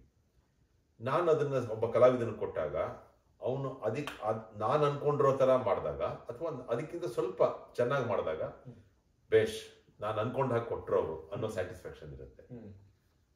ಸೊ ಈ ಎರಡು ಎಲ್ಲವೂ ಅಲ್ಟಿಮೇಟ್ಲಿ ನಮಗೆ ಸಿಗೋದು ನಾವು ನಾವು ಅನ್ಕೊಂಡಿದ್ದನ್ನ ಮಾಡಿದಾಗ. ನನಗೆ ಒಬ್ಬ ನಟನಾಗಿ ನಾನು ಇಷ್ಟು ಮಾಡಿರೋ ಎಲ್ಲ ಸೀರಿಯಲಲ್ಲೂ ನನಗೆ ಸೆಲ್ಫ್ ಸ್ಯಾಟಿಸ್ಫ್ಯಾಕ್ಷನ್ ಅನ್ನೋದು ಹಂಡ್ರೆಡ್ ಪರ್ಸೆಂಟ್ ಸಿಕ್ಕಿದೆ. ಹಂಡ್ರೆಡ್ ಪರ್ಸೆಂಟ್ ಅವ್ರು ಏನು ಕೊಡ್ತಾರೆ ಅವ್ರು ಏನು ಹೇಳ್ತಾರೆ ಅದಕ್ಕಿಂತ ಒಂದು ಪರ್ಸೆಂಟ್ ಜಾಸ್ತಿನೇ ಮಾಡಿರ್ತೀನಿ. ಒಂದು ಸಣ್ಣ ಉದಾ ಉದಾಹರಣೆ ಹೇಳ್ಬೇಕು ಅಂದ್ರೆ ನಾನೊಂದು ಸಿನಿಮಾ ಮಾಡಿದೆ. ಯೋಗಿದು ಫಸ್ಟ್ ಫಿಲಮ್ ಅದು. ಲೂಸ್ ಮಾದ ಯೋಗಿದು ಫಸ್ಟ್ ಸಿನಿಮಾ ಅದು. ಆ, ಆ ಸಿನಿಮಾದಲ್ಲಿ ನಾನೊಂದು ಲೆಕ್ಚರರ್ ಪಾತ್ರ ಮಾಡಿದ್ದೆ. ಅದು ರಿಮೇಕ್ ನಾನು ಸೆಟ್ಗೆ ಹೋದೆ. ಡೈರೆಕ್ಟ್ರು ಬಂದ್ರ ಏ ಅಸೋಸಿಯೇಟ್ ಅಂತ ಕರೆದ್ರು. ಕರೆದ್ಬಿಟ್ಟು ಅದು ಸೀನ್ ತೋರಿಸ್ಬಿಡಪ್ಪ ಇವ್ರಿಗೆ. ಅಂದ್ರು ನನ್ನನ್ನು ಕ್ಯಾರವನ್ನ ಕರ್ಕೊಂಡೋದ್ರು ಒಂದು ವಿಡಿಯೋ ಸಿ ಡಿ ಹಾಕ್ಬಿಟ್ಟು ತೋರಿಸಿದ್ರು. ಟಿವಿನಲ್ಲಿ ಚಿಕ್ಕ ಟಿವಿ ಪೋರ್ಟಬಲ್ ನೋಡೋದು ನನ್ನ ಸೀನು ಅಂದ್ರೆ ನಾನು ಏನ್ ಶೂಟ್ ಮಾಡಬೇಕು ಅಂತಿದ್ರು ಆ ಸೀನ್ ತೋರಿಸಿದ್ರು ತಮಿಳ್ ಸಿನಿಮಾ ಹಾ, ಹಾ. ಇಷ್ಟು ಮಾಡಿದ್ರೆ ಸಾಕು ಸರ್ ಅಂತ ನಾನು ಇಷ್ಟೇ ಮಾಡಿದ್ರೆ ಸಾಕ? ನಂದೇನು ಅಡಿಷನ್ ಬೇಡವಾ ಅಂದೆ. ಏ ಮಾಡಿ ಮಾಡಿ ಮಾಡಿ. ಅದು ಇಷ್ಟು ಬೇಕು ಅಂದ್ರು. ಅಂದ್ರೆ ಅವರು ಅದಕ್ಕೆ ಮೈಂಡ್ ಸೆಟ್ ಆಗ್ಬಿಟ್ಟಿದ್ರು. ಹಾ. ಸೊ ನಾನು ಅದು ನೋಡಿದ ತಕ್ಷಣ ನಾನು ಇದನ್ನ ಇನ್ನೊಂಚೂರು ಏನೋ ಮಾಡ್ಬೋದಲ್ಲ ಅಂತ ನನಗನ್ನಿಸ್ತು. ಅನಿಸ್ತು ನಾನು ಡೈರೆಕ್ಟ್ರಿಗೆ ಹೇಳಿದೆ. ಡೈರೆಕ್ಟ್ರು ಮಾಡಿ ಅಂದ್ರು. ಸೊ ಹಂಗಾಗಿ. ನಮ್ ಅವ್ರ ಅವ್ರು ಹೇಳೋದ್ರ ಜೊತೆಗೆ ನಮ್ ಇನ್ಪುಟ್ ಇದ್ದಾಗ. ಅದ್ಭುತವಾಗಿ ಬರುತ್ತೆ. ಸೊ ಮೊದಲಿಗೆ ಬೇಕಾಗಿರೋದು ಆತ್ಮತೃಪ್ತಿ. ನಂತರ ಯಾರ ಗುರುತಿಸಿ ಏನೋ ಒಂದು ಕೊಟ್ಟರೆ ಅದು ಬೋನಸ್. ಬೋನಸ್ ಪ್ರಶಸ್ತಿಗಳು. ಸರ್ ನೀವು ಚೆನ್ನಾಗಿ ಮಾಡಿದಾಗ ಖಂಡಿತವಾಗ್ಲೂ ಜನ ನಿಮ್ಮನ್ನ ಐಡೆಂಟಿಫೈ ಮಾಡ್ತಾರೆ. ನೀವು ಸುಮ್ಮನೆ ಬೇಕಾಬಿಟ್ಟಿ ಮಾಡಿದಾಗ ಅವ್ನು ಏನೋ ಮಾಡ್ಕೊಂಡು ಹೋದ ಬಿಡು ಅಂತ ಸೊ ನೀ ಚೆನ್ನಾಗಿ ಮಾಡಿದೆ ಅಂತ ಬೇಷ್ ಅನ್ನಿಸ್ಕೊಳ್ಳೋದಿಕ್ಕೇನೆ ಒಬ್ಬ ಕಲಾವಿದ ಇಷ್ಟಪಡ್ತಾನೆ. ಬಟ್ ಈಗ ನಾನು ಆಗ್ಲೇ ಹೇಳ್ದಂಗೆ again we are going back to square one ತುಂಬಾ ಜನ ಗ್ಲಾಮರ್ಗೆ ಅಂತ ಬರ್ತಾರೆ. ಆಮೇಲೆ ಜನ ನೋಡಿದ ತಕ್ಷಣ ರೆಕಗ್ನೈಸ್ ಮಾಡಬೇಕು ನಮ್ಮನ್ನ ಅನ್ನೋದೇ ಮೈಂಡ್ ಸೆಟ್ ಇಟ್ಕೊಂಡು ಬರ್ತಾರೆ. ಅಂತವ್ರಿಗೆ ಸಸ್ಟೈನಬಿಲಿಟಿ ಕಮ್ಮಿ. ಕರೆಕ್ಟ್ ಅಂದ್ರೆ ಆ ಅದೇ ರೀತಿಯಲ್ಲಿ ಹೇಳ್ಬೇಕಾದ್ರೆ ಈಗ ಮುಂಚಿನ ಎಲ್ಲ ಚಿತ್ರಗಳಲ್ಲಿ ಸಣ್ಣ ಪಾತ್ರ ಮಾಡಿದ್ರು ಕೂಡ ಜನ ಈಗಲೂ ನೆನ್ಪಿಟ್ಕೊಳ್ಳುವಂತ ಇತ್ತು. ಸೊ ಆದ್ರೆ ಈಗ ಅವರ್ಸ್ ಟುಗೆದರ್ ಅವ್ರ ನಟನೆ ಮಾಡಿದ್ರು ಕೂಡ ಗುರುತು ಸಿಗದೆ ಇರುವಂತಹ ಪರಿಸ್ಥಿತಿ ಬಂದಿರುತ್ತೆ. ಯಾಕೆಂದ್ರೆ ಮೇ ಬಿ ಅದೇ ನೀವು ಹೇಳಿದ್ದೆಲ್ಲ ಕಾರಣಗಳಿಂದ ಇರ್ಬೋದು ನಿಮ್ಮ ವೈಯಕ್ತಿಕ ಜೀವನದ ಬಗ್ಗೆ ಕೇಳಬೇಕು ಅಂತ. ಬಹಳಷ್ಟು ಜನಕ್ಕೆ ಗೊತ್ತಿರ್ಲಿಕ್ಕಿಲ್ಲ. ಅಂದ್ರೆ ನಿಮ್ಮ ಕುಟುಂಬವನ್ನ ಪರಿಚಯ ಮಾಡ್ಕೊಡ್ತೀರಾ ಖಂಡಿತ ಮಾಡ್ಕೊಡ್ತೀನಿ ಸರ್. ನನ್ನ ಹೆಂಡತಿ ಶ್ರೀಮತಿ ವಂದ್ಯಾ ಶ್ರೀನಾಥ್ ಅಂತ. ಅವಳು ಭರತನಾಟ್ಯದ ಕಲಾವಿದೆ. ಅವಳು dancer cum choreographer cum artistic director Bhramara school of music and dance ಅಂತ. ಒಂದು ನೃತ್ಯ ಶಾಲೆಯನ್ನು ನಡೆಸ್ತಾರೆ. ಪ್ರಪಂಚದಾದ್ಯಂತ ಎಲ್ಲ ಕಡೆ ಶಿಷ್ಯಂದ್ರಿದ್ದಾರೆ. ಸುಮಾರು ಮಾಡ್ತಾರೆ. ಈಗಲೂ ಪ್ರೋಗ್ರಾಮ್ಸ್ ಅದು ಇದೆಲ್ಲ ನಡೀತಾನೆ ಇರುತ್ತೆ. ಅವ್ಯಾಹತವಾಗಿ ನಡೀತಾ ಇದೆ ಜೊತೆಗೆ ನನ್ನ ಮಗ ಋತ್ವಿಕ್ ವಸಿಷ್ಠ ಅಂತ ಅವನು ಯು ಕೆಲಿದ್ದಾನೆ ಅವನು ಎಂ ಎಸ್ ಆಯಿತು ಇಂಜಿನಿಯರಿಂಗ್ ಮಾಡ್ದ ಬೆಂಗಳೂರಲ್ಲಿ. ಯು ಕೆನಲ್ಲಿ ಕ್ರ್ಯಾನ್ಫೀಲ್ಡ್ ಯೂನಿವರ್ಸಿಟಿಲಿ ಎಂ ಎಸ್ ಮಾಡ್ದ. ಈಗ ಕೆಲಸ ಹುಡುಕ್ತಾ ಇದ್ದಾನೆ. ಅವನು ಮೃದಂಗ ಕಲಿತಾ ಇದ್ದ. ಆಮೇಲೆ ಇಂಜಿನಿಯರಿಂಗ್ ಸೇರ್ಕೊಂಡ್ಮೇಲೆ ಟೈಮಿಂಗು ಅದು ಇದು ಅಡ್ಜಸ್ಟ್ ಆಗ್ತಿರ್ಲಿಲ್ಲ ಡಿಸ್ಕಂಟಿನ್ಯೂ ಮಾಡ್ದ. ಮಗಳು ತನ್ಮಯಿ ಅಂತ ತನ್ಮಯಿ ವಸಿಷ್ಠ ಅವಳು ಈಗ ಫಸ್ಟ್ ಪಿ ಯು ಸಿ. ಅವಳು ಭರತನಾಟ್ಯ ಕಲಾವಿದೆ ಕಲಿತಾ ಇದ್ದಾಳೆ. ಸೊ ನಮ್ದು ಒಂದು ಕಲಾವಿದರ ಕುಟುಂಬ. ನಾವು ಪ್ರತಿ ಕ್ಷಣವೂ ಒಬ್ಬ ಕಲಾವಿದನಾಗಿ ಕಲಾವಿದನ ಬದುಕನ್ನ ಆಸ್ವಾದಿಸ್ತಾ ಇದ್ದೀವಿ. ಸುಖವಾಗಿದ್ದೀವಿ. ಭಗವಂತನ ದೇಹ ನೋಡುವ ಪ್ರೇಕ್ಷಕರ ಆಶೀರ್ವಾದ. ಚೆನ್ನಾಗಿದ್ದೀವಿ. ಸರ್. ಹಾಗೆ ಖುಷಿಯಾಗೇ ಇರಿ ಅಂತ ನಮ್ಮೆಲ್ಲರ ಆಶಯ. ಮನೆಯಲ್ಲಿ ಶ್ರೀನಾಥ್ ವಸಿಷ್ಠ ಅವರು ಹೇಗೆ? ಅಂದ್ರೆ ನಿಮ್ಮ ಪತ್ನಿಯವರು ಭರತನಾಟ್ಯ ಕಲಾವಿದರು ಅಂತ ಗೊತ್ತಾಯ್ತು. ಅವ್ರು ನಿಮ್ಮನ್ನ ಕೊಡಿಸ್ತಾರಾ ಅಥವಾ ನೀವು ಅವ್ರನ್ನ ಕುಣಿಸ್ತೀರಾ? ಇಲ್ಲ ಕೆಲವು ಸಲ ವರ್ಷದಲ್ಲಿ ಮುನ್ನೂರ ಅರವತ್ತ ಎರಡು ದಿನ ಅವ್ರು ಕುಣಿಸ್ತಾರೆ. ಇನ್ ಎರಡು ದಿನ ನಾನು ಕುಣಿಸ್ತೀನಿ ಈ ಸಂದರ್ಶನ ನೋಡಿದ್ಮೇಲೆ ಅವ್ರನ್ನ ಕೇಳ್ತೀನಿ. ಅವಾಗ ಮುನ್ನೂರ ಅರವತ್ತೈದು ದಿನ ಕುಣಿಸ್ತಾರೆ. ಆದ್ರೆ ನಮ್ಗೆಲ್ಲ ಏನಂದ್ರೆ ನಿಮ್ಗೆ ಎಂ ಎಸ್ ಮಾಡೋ ಅಷ್ಟು ದೊಡ್ಡ ಮಗ ಇದ್ದಾನೆ ಅಂತ ನಮಗ್ ನಂಬೋದಕ್ ಸ್ವಲ್ಪ ಕಷ್ಟ ಆಯ್ತು. ಯಾಕಂದ್ರೆ ನಾವು ಪಾಪ ಪಾಂಡು ಆ ಟೈಮ್ ಇಂದಾನು ನಿಮ್ಮನ್ನ ನೋಡಿ ನೋಡಿರೋದು. ಆಗ ಹೇಗಿದ್ರು ಈಗ್ಲೂ ಹಾಗೆ ಇದ್ದೀರಾ. ಆ, ಬಹಳಷ್ಟು ಜನಕ್ಕೆ ಗೊತ್ತಿಲ್ಲದೆ ಇರಬಹುದು. ಅವ್ರು ಸುಮಾರು ಒಂದ್ ಎಂಟು ವರ್ಷದಿಂದ ತರಕಾರಿ ಹಣ್ಣು ಈ ರೀತಿಯ ಆಹಾರವನ್ನೇ ಸೇವಿಸಿ ಇದ್ದಾರೆ. ಹಾಗಾಗಿ ಅವರ ಅದ ಆರೋಗ್ಯದ ಗುಟ್ಟು ಅದಿರಬಹುದಾ ಅಂತ. ಗೊತ್ತಿಲ್ಲ. ಇರಬಹುದೇನೋ. ಏನ್ ತರಕಾರಿ ಆದ್ರೆ ಪ್ರೋಟೀನ್ ಇರುವಂತ ತಗೋತೀನಿ ಸಾಲಿಡ್ ಫುಡ್ಸ್ ಯಾವುದು ತಗೊಳ್ಳೋದಿಲ್ಲ ಆಮೇಲೆ ಜೊತೆ ಕ್ರಿಕೆಟ್ ಆಡ್ತೀನಿ ನಾನು. ಎವ್ರಿ ಡೇ ನಾನು ಶೂಟಿಂಗ್ ಇಲ್ಲದೆ ಇದ್ರೆ ಎವ್ರಿ ಡೇ ಒಂದು ಒಂದೂವರೆ ಗಂಟೆ ಪ್ರಾಕ್ಟೀಸ್ ಮಾಡ್ತೀನಿ. ಸೈಕ್ಲಿಂಗ್ ಮಾಡ್ತೀನಿ. ಹಾಗಾಗಿ ನಡ್ಕೊಂಡು ಹೋಗ್ತಾ ಇದೆ. ನನಗೆ ಸ್ವಲ್ಪ ಎಡಗಾಲು ಮಂಡಿ ಪ್ರಾಬ್ಲಮ್ ನನಗೊಂದು ಮೇಜರ್ ಆಕ್ಸಿಡೆಂಟ್ ಆಗೋಯ್ತು ಈಗ ಒಂದು ಹದಿನೈದು ವರ್ಷದಿಂದ. ತುಂಬಾನೇ ಮೇಜರ್ ಆಕ್ಸಿಡೆಂಟ್ ನಾನು ಬದುಕಿದ್ದೆ ದೊಡ್ಡ ವಿಚಾರ ಅದು. ಅದಾದ್ಮೇಲೆ ಮಂಡಿ ಲೆಫ್ಟ್ ನೀ ಪ್ರಾಬ್ಲಮ್ ಆಯ್ತು. ಅವಾಗಿಂದ ಸ್ವಲ್ಪ ವೆಯ್ಟ್ ರಿಡ್ಯೂಸ್ ಮಾಡಿ ಕಾಲು ನೋವು ನಡೆದ್ರೆ ಕಾಲು ನೋವು ಬರೋದು. ವೆಯ್ಟ್ ರಿಡ್ಯೂಸ್ ಮಾಡಬೇಕು ಅನ್ನೋ ಕಾರಣಕ್ಕೆ ಊಟ ಬಿಟ್ಟೆ. ತುಂಬಾ ಸಣ್ಣ ಆಗ್ಬಿಟ್ಟಿದ್ದೆ. ಎಲ್ಲರೂ ಬೈಯಕ್ ಶುರು ಮಾಡ್ಬಿಟ್ರು. ನನ್ನ ರಿಲೇಟಿವ್ಸ್ ತುಂಬಾ ಜನ ಯಾಕೆ ಏನ್ ಪ್ರಾಬ್ಲಮ್ ಶುಗರ್ ಅಂತೆಲ್ಲ ಕೇಳಕ್ ಶುರು ಮಾಡ್ಬಿಟ್ರು. ಸೊ ಹಂಗಾಗಿ ಬೇಡ ಅಂತ ಒಂದು ಚೂರ್ ಚೂರ್ ತಿರ್ಗಾ ಇಂಟೇಕ್ ತಗೊಳಕ್ ಶುರು ಮಾಡಿ. ಬಟ್ ಆದಷ್ಟು ಫುಡ್ ಕಂಟ್ರೋಲ್ ಮಾಡ್ತೀನಿ. ತುಂಬಾನೇ ಕಂಟ್ರೋಲ್ ಮಾಡ್ತೀನಿ. ಇನ್ನ ಬಹಳಷ್ಟು ಕಲಾವಿದರಿಗೆ ನೀವು ಈಗಲೂ ಮಾದರಿಯಾಗಿದ್ದೀರಿ. ಯಾಕೆಂದ್ರೆ ಕನ್ಸಿಸ್ಟೆಂಟ್ ಆಗಿ ಇಷ್ಟು ವರ್ಷ ಇಂಡಸ್ಟ್ರಿಯಲ್ಲಿ ರಿಲವೆಂಟ್ ಆಗಿ ಇರೋದು ಬಹಳ ಕಷ್ಟ ಅಂತ ಅನ್ಸುತ್ತೆ. ಯಾಕಂದ್ರೆ ಕೆಲವರು ಬರ್ತಾರೆ ಐದು ವರ್ಷ, ಹತ್ತು ವರ್ಷ ಮ್ಯಾಕ್ಸಿಮಮ್ ಆದ್ರೆ ಮೂವತ್ತೈದು ವರ್ಷ ಸತತವಾಗಿ ಎಲ್ಲಾ ಕ್ಷೇತ್ರಗಳಲ್ಲೂ ರಂಗಭೂಮಿ ಇರ್ಬೋದು, ಕಿರುತೆರೆ ಇರ್ಬೋದು, ಹಿರಿತೆರೆ, ಹಿರಿತರೆ ಇರ್ಬೋದು. ಎಲ್ಲದರಲ್ಲೂ ನೀವು ಪ್ರಸ್ತುತರು ಅಂತ ಈಗಲೂ ಅನ್ನಿಸ್ಕೊಳ್ಳೋದು ನಿಜವಾಗ್ಲೂ ಸಾಧನೆ ಅಂತ ನಮ್ಮೆಲ್ಲರ ಅಭಿಪ್ರಾಯ. ನನ್ನ ಸಾಧನೆ ಜೊತೆಗೆ ನನ್ನನ್ನ ಮೆಚ್ಚಿ ಪ್ರೋತ್ಸಾಹಿಸ್ತಿರೋ ಪ್ರೇಕ್ಷಕರು ದಟ್ ಈಸ್ ಇಂಪಾರ್ಟೆಂಟ್ ಒಂದು. ಎರಡನೇದು ಫ್ಯಾಮಿಲಿ ಸಪೋರ್ಟ್ ತುಂಬ ಸಪೋರ್ಟ್ ಏಕೆಂದರೆ, ಕಲಾವಿದರಿಗೆ ತುಂಬ ಜಿನ್ ತುಂಬ ದಿನ ಕೆಲಸ ಇರಲ್ಲ. ಆ ಸಂದರ್ಭಗಳಲ್ಲಿ ನನ್ನನ್ನು ಸಪೋರ್ಟ್ ಮಾಡಿ, ಆಗತ್ತೆ, ನಿನ್ ಕೈ ಆಗತ್ತೆ, ಮಾಡ್ತೀಯ ಇವತ್ತಿಲ್ಲದೆ ನಾಳೆ ಮಾಡ್ತೀಯ, ಬರುತ್ತೆ ಅಂತ ಹೇಳಿ ನನ್ನನ್ನು ಸಪೋರ್ಟ್ ಬ್ಯಾಕಪ್ ಸಪೋರ್ಟ್ ಮಾಡಿ ಫ್ಯಾಮಿಲಿ ಮೂರನೇದು ನನ್ನನ್ನ ಬೆಳೆಸ್ತಾ ಇರುವಂತಹ ಎಲ್ಲ ನಿರ್ಮಾಪಕರು ನಿರ್ದೇಶಕರು ಏ ಈ ಪಾತ್ರಕ್ಕೆ ಅವನೇ ಬೇಕು ಕರೀರಿ ಅವನ್ನ ಅಂತ ಕರೆದು ಮಾಡಿಸ್ತಾರಲ್ಲ ಅವ್ರು ಇಲ್ಲದೇ ಇದ್ರೆ. We are nothing. ಸೊ ಅವರು ಎಲ್ರಿಗೂ ನಾನು ಆಭಾರಿಯಾಗಿದ್ದೀನಿ. ಈ ಸಂದರ್ಭದಲ್ಲಿ ಅದನ್ನು ಹೇಳಲೇಬೇಕು. Because without them I am nothing. ಇಷ್ಟೊತ್ತು ನಿಮ್ಮ ಸುದೀರ್ಘವಾಗಿ ನಿಮ್ಮ ಸಂದರ್ಶನವನ್ನ ಮಾಡೋದಕ್ಕೆ ನನಗೆ ಅವಕಾಶ ಕೊಟ್ಟಿದ್ದೆ ಗಾಡ್ ನಿಮ್ಗೆ ಧನ್ಯವಾದಗಳು. ಅವಕಾಶ ಅಲ್ಲ. ನೀವು ನಿಮ್ಮ ಟೈಮ್ ತಗೊಂಡು ಬಂದು ನಾನು ಇಂಟರ್ವ್ಯೂ ಮಾಡಬೇಕು ಅಂತ ಬಂದ್ರಿ. ನಿಮಗೆ ನಾನು ಯಾವ ರೀತಿ ಆಭಾರಿಯಾಗಿ ಎಷ್ಟು ಥ್ಯಾಂಕ್ಸ್ ಹೇಳಿದ್ರು ಸಾಲದು? I am very grateful to you thank you very thank you sir ತುಂಬಾ ಖುಷಿ ಆಯ್ತು. ನಿಮ್ಮ ಪರಿಚಯ ನಮ್ಗಾಗಿದ್ದು. ಹಾಗೆ ನಮ್ಮ ನಮ್ಮ ಕನ್ನಡ ಕೂಟದ ವತಿಯಿಂದ ನೀವು ನಮ್ಮೆಲ್ಲ ಕನ್ನಡ ಕೂಟದ ಸದಸ್ಯರಿಗೆ ಸಿಕ್ಕಿದ್ರಿ. ಹಾಗಾಗಿ ನಮಗೆ ಬಹಳ ಸಂತೋಷ ಆಯ್ತು. Thank you K K N C Kannada ಕೂಟದವರು ಅದ್ಭುತವಾದ ಕಾರ್ಯಕ್ರಮಗಳನ್ನ ವರ್ಷಕ್ಕೆ ವರ್ಷ ಇಡೀ ಮಾಡ್ತಾ ಇರ್ತಾರೆ. ಹೋಮ್ ಔಟ್ ಆಫ್ ಹೋಮ್ ಅಂತ ಒಂದು ಮಾತಿದೆಲ್ಲ ಹೋಮ್ ಅವೇ ಫ್ರಮ್ ಹೋಮ್. ಆ ಥರದ್ದು ನಮಗೆ ನಿಮ್ಮ ನೀವೆಲ್ಲ ನಿಮ್ಮಲ್ಲಿರುವ ಕನ್ನಡ ಪ್ರೀತಿ ಕನ್ನಡದ ಅಭಿಮಾನ ಕನ್ನಡ ಕಲಾವಿದರನ್ನ ನೋಡಿದ್ರೆ ನೀವು ತೋರಿಸೋ ಆತ್ಮೀಯತೆ ಇವೆಲ್ಲವನ್ನ ನೋಡಿದಾಗ ಬಹಳ ಖುಷಿ ಆಗುತ್ತೆ. ನಾವೆಲ್ಲ ಬೆಂಗಳೂರಲ್ಲಿ ಇಲ್ಲಿ ಬೆಂಗಳೂರಲ್ಲೇ ಇದ್ದೀವಿ ನಾವು ಅನ್ಸುತ್ತೆ.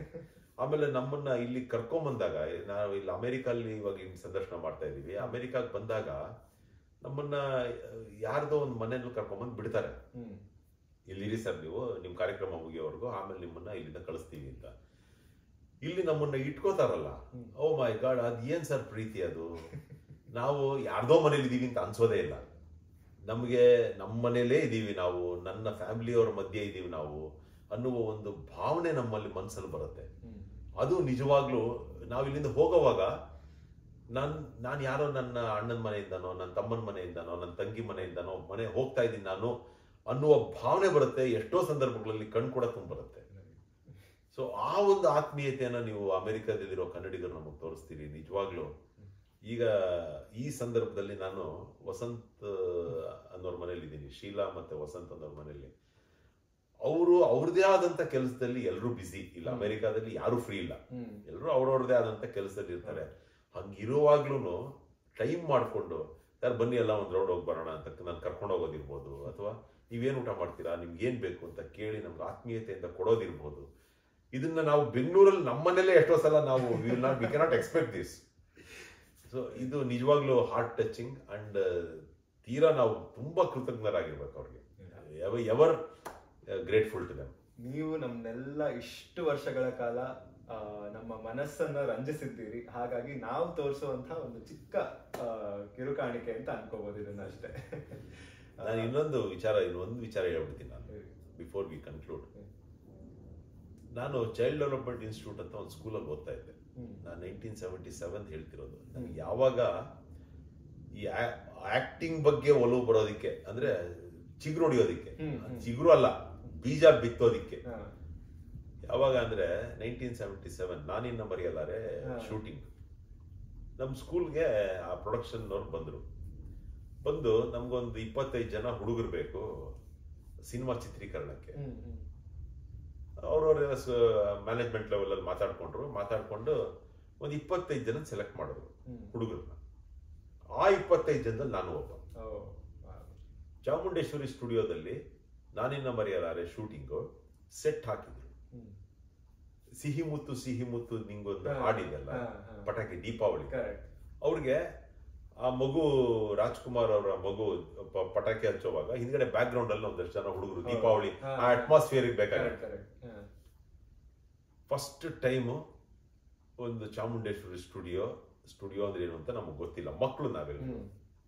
ಹೋಗಿ ನೋಡಿದ್ರೆ ಒಂದು ಒಂದು ಒಂದು ರೋಡು ಆ ಕಡೆ ಈ ಕಡೆ ಮನೆಗಳು ಸೆಟ್ ಅದ್ಭುತವಾಗಿತ್ತು ಆ ಸೆಟ್ ಅಲ್ಲಿ ಚಿತ್ರೀಕರಣ. ನಾನು ಅಲ್ಲಿ ರಾಜ್ಕುಮಾರ್ ಅವ್ರನ್ನ ಇಷ್ಟು ಹತ್ರದಲ್ಲಿ ನೋಡಿದ್ದೆ. ಓ. ಮೈ ಗಾಡ್ ಅದು ಅವತ್ತು ನನಗೆ ಫಿಲ್ಮ್ ಶೂಟಿಂಗ್ ಅಂದ್ರೆ ಹಿಂಗಿರುತ್ತೆ. ನಾನು ಇದೇ ತರ ಒಬ್ಬ ಆಕ್ಟರ್ ಆಗ್ಬೇಕು ಅನ್ನೋ ಒಂದು ಆಸೆ ಬೀಜವಾಗಿ ನನ್ನ ಹೃದಯದಲ್ಲಿ ಒಳ ಹೋಗ್ತು. ಅಲ್ಲಿಂದ ಚಿಗುರೊಡೆದು ಇವತ್ತು ಅಂತಹ ಅದ್ಭುತವಾದ ಕಲಾವಿದನ್ನ ನೋಡಿ ಬೆಳೆದವ್ರು ನಾವು. ಸೊ ಹಂಗಾಗಿ ಇಲ್ಲಿವರೆಗೂ ನನ್ನ ಪ್ರಯಾಣ ಸಾಕೊಂಡ್ ಆ ಒಂದು ಆರಾ ಇಂದನೇ ನಿಮ್ಮ ಎಸ್ ನೈಸ್ ಇವತ್ತು ಬಹಳಷ್ಟು ಜನ ಈ ವಿಡಿಯೋ ನೋಡಿ ಇವತ್ತು ಆ ಸಾಂಗ್ ಪ್ಲೇ ಮಾಡಿ ನಿಮ್ಮನ್ನು ಹುಡುಕ್ತಿರ್ಬೋದು. ಅಲ್ಲಿ ವಾಯ್ಸ್ ಒಂದು ಬರುತ್ತೆ. ದೂರ ಹೋಗಿ ದೂರ ಹೋಗಿ ಆನೆ ಅನ್ನ ಅದೇನು ಬಾಂಬ್ ಅಂತೆ ನಾನು ಅದೇ ಅಮೋಘ ಕಂಠ. ಆಗ್ಲಿಂದನೂ ನಿಮ್ಮ ಕಂಠ ಪಾಪ್ಯುಲರ್ ಬಹಳ ಖುಷಿ ಆಯ್ತು ಸರ್. ನಿಮ್ಮ ಎಲ್ಲ ಮುಂದಿನ ಪ್ರಾಜೆಕ್ಟ್ಸ್ಗೂ ನಮ್ಮೆಲ್ಲರ ಬೆಸ್ಟ್ ವಿಶಸ್ ಖಂಡಿತ ಇನ್ನಷ್ಟು ಎತ್ತರದ ಶಿಖರಗಳನ್ನ ನೀವು ರೀಚ್ ಆಗ್ಲಿ ಅಂತ ನಮ್ಮೆಲ್ಲರ ಹಾರೈಕೆ. ಥ್ಯಾಂಕ್ ಯು ಬಹಳ ಧನ್ಯವಾದ thank you very much thank you thank you